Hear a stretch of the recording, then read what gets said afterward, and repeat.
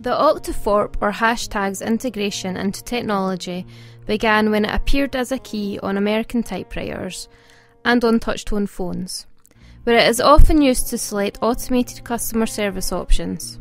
In 1988, hashtags were used in Internet Relay Chat as a way for users to communicate on separate channels.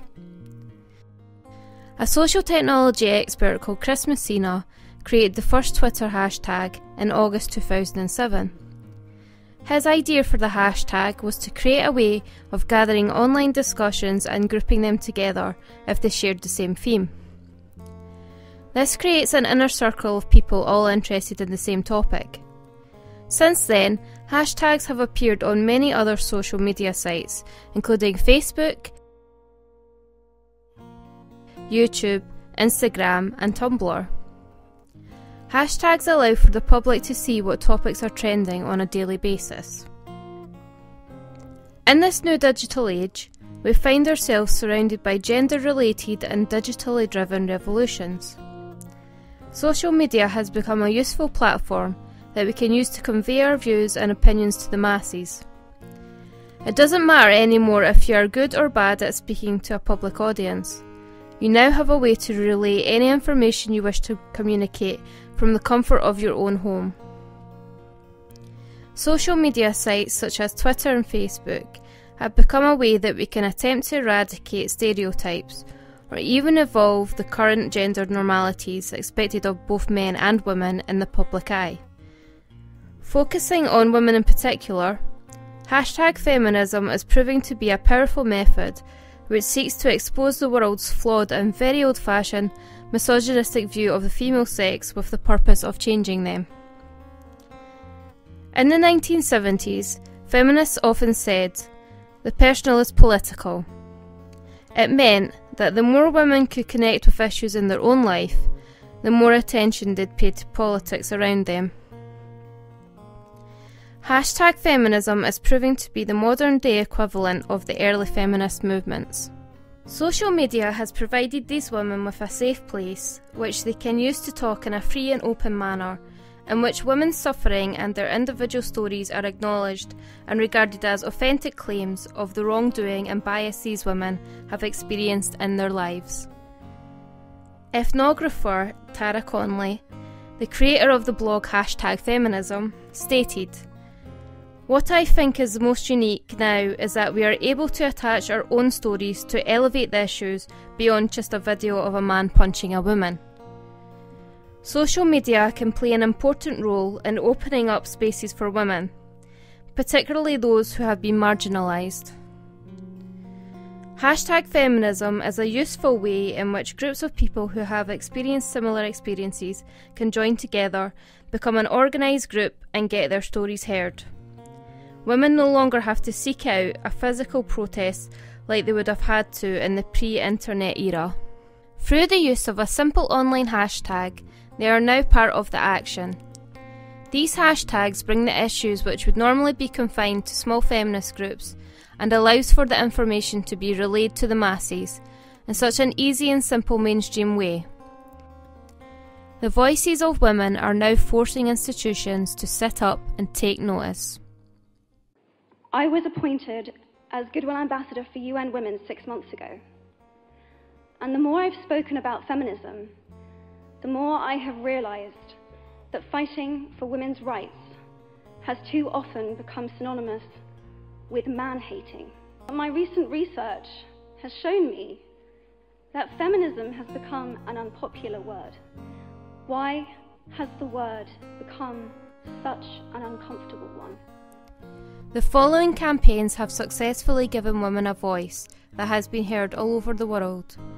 The sheer mass and volume of supporters has forced attention onto issues that the majority of women deem to be important. These messages have been that strong that support has even been given by celebrities, and celebrities are great at gaining attention, thus giving a campaign even more credibility, which will encourage others to take part. Why I Stayed this domestic abuse campaign was created after the NFL came under fire repeatedly for not punishing players accused of domestic abuse, after the release of a video showing Ray Rice punching his fiancée. This hashtag was started by Beverly Gooden, who had had enough of listening to people questioning why women would choose to stay in abusive relationships in these modern times. Yes, all women. This was a response to the 2014 misogynistic killings in Isla Vista, California, that turned into a three day global movement. A shooter killed six women and wounded 13 others because he was suffering from his sexual advances being rebuffed. Girls, all I've ever wanted was to love you and to be loved by you. I wanted a girlfriend. But you think I'm unworthy of it. That's a crime that can never be forgiven. If I can't have you, girls, I will destroy you. Twitter users Annie Cardi and Gilded Spine introduced the hashtag in response to news of the killer's reasons for doing this horrific act. This hashtag generated over 1.5 million personal testimonials about women targeted violence, threats, and sexual harassment. Although the killings were the original catalyst for this hashtag, it evolved further and is supportive of gender oppression, the normalisation of gender violence, and sexual entitlement. It has become a campaign to name and define, to speak and be heard. Because somebody I thought was my friend didn't listen when I said no. Because language like, don't be such a girl, taught me that I was less than a man. Because people base how much they listen to me on how pretty they think I am. Because I shouldn't have to ask my friends to watch my drink when I leave the table. Because I shouldn't still feel embarrassed to share my story. Because I shouldn't have to fear for my safety for speaking my mind. Because even though I didn't physically fight back, it doesn't make my no a yes.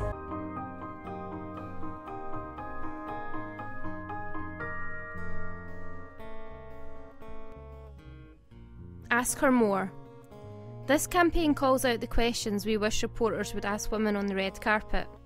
This campaign began when Reese Witherspoon wrote an Instagram post asking interviewers to ask her more during the red carpet season. This post was liked by over 20,000 people. Hashtag ask her more. This is a movement to, you know, say we're more than just our dresses. It's great. The dresses are beautiful. We love the artists that make all these clothes, but it's hard being a woman in Hollywood or in any industry. So it's exciting for me to get to talk to other nominees about all the hard work they did.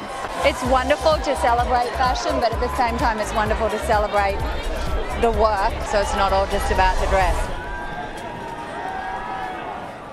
She suffered from depression. How did you find the balance in this role? I was watching or listening to something where they actually they compared you and your work to Meryl Streep. What's your reaction to something like that? I'd love to know what you're working on now. What's next? Have you heard from families who are saying, "Hey, thank you"? Any advice for your husband?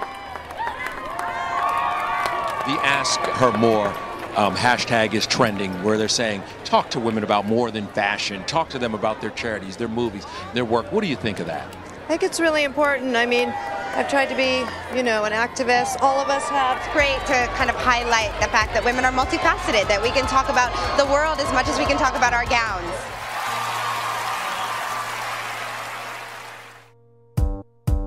Everybody get up. Ask Thicke.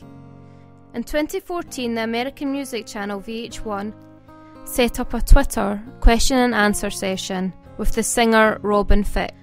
This invited his fans and the general public to chat with the singer. His critics decided that this hashtag was the perfect tool to use to publicly shame Thicke for his misogynistic lyrics and video of blurred lines, as the song had been dubbed a rape anthem. It's no huge surprise that, according to data from Twitter, conversation about feminism has increased by 300% on the platform over the past three years. Women's issues are everywhere, relentlessly spread by the women they impact. For the mainstream media, tracking the feminist hashtag of the moment has become a virtual sport. While some state that hashtag feminism is an empty and self congratulatory display of righteousness, it has actually proven to be a driving force, which recasts social dynamics. It is the radical potentialities and limitations of this new temporal regime epitomised by the hashtag, that we as feminists must consider when strategising how to actively reshape the cultural consensus on questions of gender, violence, and power.